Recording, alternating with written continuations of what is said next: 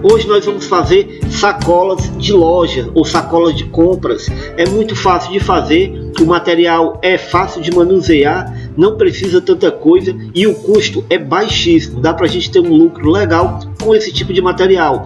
Então fica com a gente até o final do vídeo que você vai estar tá fazendo hoje mesmo suas próprias sacolas de loja e assim obtendo bastante lucro. Eu sou o Leandro Lima e esse é o canal Ideias e Lucros.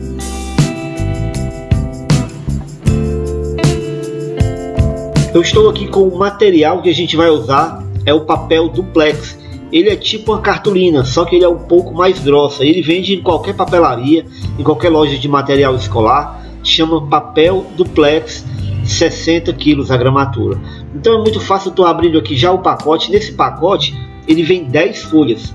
Ele está fechado, eu comprei somente para fazer essas sacolinhas para a gente ver como que faz esse tipo de material. Mas antes da gente começar a fazer o passo a passo exatamente como ele é, eu quero te dizer que o nosso canal ele tem vídeos diariamente e todo dia a gente tem um conteúdo legal que vai te ajudar a obter lucros. Então, se você quer saber mais desse conteúdo, quiser saber mais outras formas de você ganhar dinheiro com esse tipo de material trabalhando em casa, se inscreve no nosso canal, ativa as notificações para você não perder nada do que a gente posta aqui. Continuando o nosso passo a passo da nossa sacola de compras ou sacola de shopping, de lojas, como você queira chamar, é um material muito legal e eu tenho certeza que você vai ganhar dinheiro com esse tipo de material quando você começar a oferecer no seu Instagram. A gente vai precisar de uma caneta, uma caneta comum, uma régua. A régua que eu utilizo, eu já uso a própria medida dela, aquela a largura que a régua tem, não o comprimento, a largura para poder fazer o primeiro marcação, a primeira marcação de dobra, que é assim que eu faço. Eu risco com a caneta na ponta da folha, deixando só um espaço referente ao tamanho da régua. Repara, é mais ou menos 2 centímetros. Eu vou fazer isso nas duas extremidades da folha, uma em cada lado risco do mesmo jeito que eu fiz do lado, eu faço do outro. É, é extremamente importante que tenha a mesma medida as marcações que a gente vai fazer. Tudo isso são marcações de dobra. Ó. Depois que eu risco, eu vou dobrar do lado e vou dobrar do outro. Essas foram as primeiras marcações que a gente fez.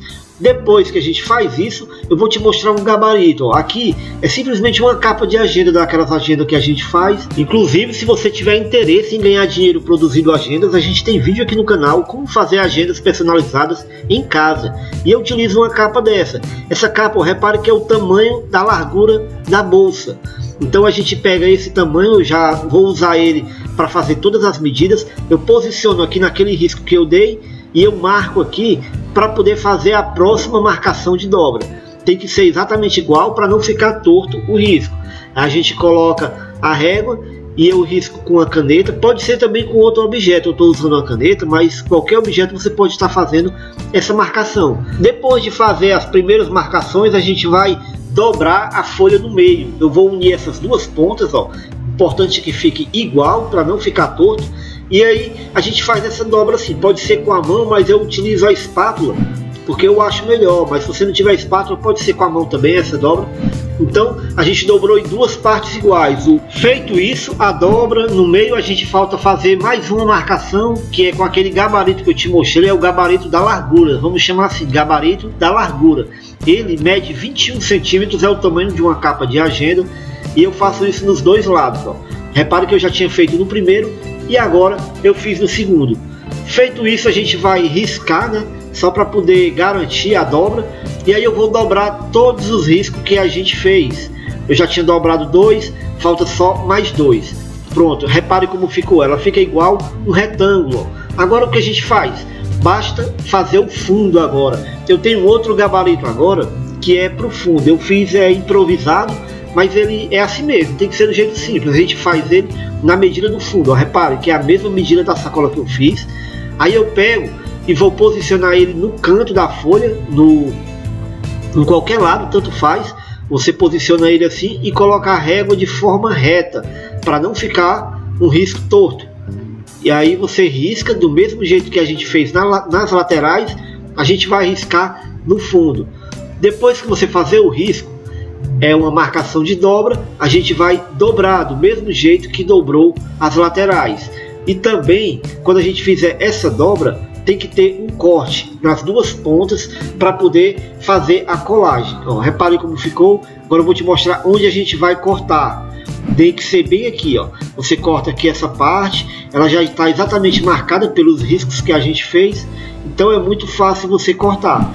Essa abazinha que está ficando vai ser justamente aonde a gente vai passar a cola.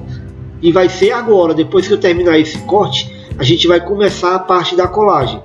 Vou juntar as duas partes. Repare o tamanho, ó. aqui é a altura da sacola. O fundo que eu dobrei é a mesma altura daquela que eu fiz. Mas se você quiser uma sacola menor, eu fiz essa muito grande, muito comprida. Se você quiser uma sacola menor, você pode cortar. Depende do tamanho que o seu cliente quiser. Ó, vou cortar um pouquinho aqui, só para ela ficar diferente da outra sacola que a gente fez. E para cortar é muito simples, você posiciona a régua na medida que você quer. Eu estou dando um corte aqui aleatório, não tem uma medida exata, mas é só para diferenciar um pouquinho daquela sacola que a gente já tinha feito antes de começar a filmagem. Pronto, cortei. Agora sim, depois de eu ter cortado, definimos o tamanho da sacola. Eu vou fazer a colagem. E é muito simples. A colagem basta você passar cola em uma dessas abas que a gente dobrou. Por que, que eu fiz duas dobras, duas abas dessas? Porque uma vai pegar na outra, fica mais segura a sacolinha, fica legal. E a cola pega melhor quando é desse jeito. Aí você posiciona aqui de um jeito que não fique torto. Cuidado com essa cola instantânea, porque quando ela encosta, ela já cola logo é igual cola maluca. Você pode usar também cola branca se quiser, cola de isopor. Nesse caso aqui pode, não tem problema, só que demora mais tempo para secar. Por isso que eu uso a cola instantânea, porque ela seca na hora e a produção fica bem melhor, a gente faz bem mais rápido. Depois que a gente colou, eu vou cortar assim em cada ponta, ó. cortando aqui, ó. Esse corte que a gente vai fazer nas quatro pontas. Tem uma que já está cortado, foi que a gente cortou antes de colar. Aí é muito fácil, não tem uma medida padrão, você corta de acordo com o que você achar melhor que vai ficar na sua caixa. Depois basta a gente dobrar e pronto, o nosso fundo da sacola já está feito. Agora basta a gente passar a cola em uma das dessas laterais do fundo e pronto. É, como a cola é instantânea, ela vai secar rápido. Ó. Aqui pronto, já secou, já era. A nossa sacola já está fechada o fundo. Ó. Repare como ficou muito legal. E agora você pode optar por fechar ela sem cordão ou você pode fechar ela com cordão. Eu estou mostrando aqui as duas formas. Tem gente que fecha só assim, ó, coloca um grampeador aqui e já entrega, pronto, desse jeito. Mas no nosso caso aqui eu vou fazer com furo e com cordão. Eu estou aqui com o furador e basta eu posicionar ela centralizado para não ficar mais para um lado do que para o outro. Coloca bem no meio e pronto, furou. Agora a gente vai colocar o cordão. O cordão eu uso em média um tamanho de 60 centímetros. Esse tamanho ele ficou até pequeno aqui, mas como é só para teste, só para mostrar para vocês como é, eu vou continuar usando. Aí ó, dou um nó aqui por dentro, do jeito que a gente faz sacolinha. Se você quiser saber como fazer sacolinha de aniversário, tem vídeo aqui no canal ensinando como fazer sacolinha de festa de aniversário.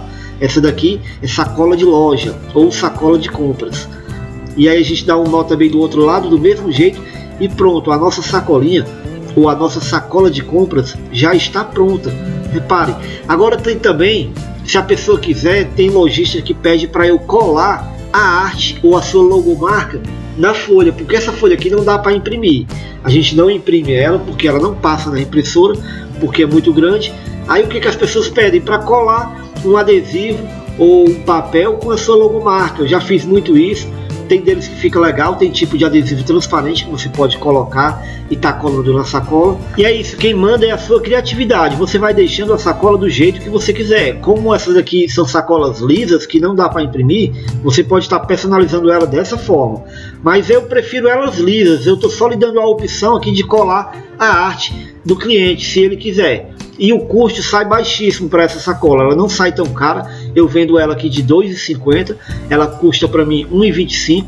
Então a gente ganha o dobro 100% de lucro em cima das sacolas. Agora você já sabe, é assim que a gente faz essas sacolas de loja em casa, Dá para ganhar dinheiro sim com elas. Tem muita lojinha pequena que prefere comprar assim do que comprar de mil, dois mil, três mil sacolas. Então assim dá para a gente obter um lucro legal fazendo esse tipo de material em casa. E se você gostou, tem mais conteúdos como esse aqui no canal. Dá uma olhadinha no nosso canal, tem muito vídeo com muita ideia legal que vai te ensinar a obter lucros trabalhando em casa. Então se inscreve aí, ativa as notificações e não perde mais nada do que a gente posta aqui no nosso canal. Obrigado pela atenção, fica com Deus e até a próxima.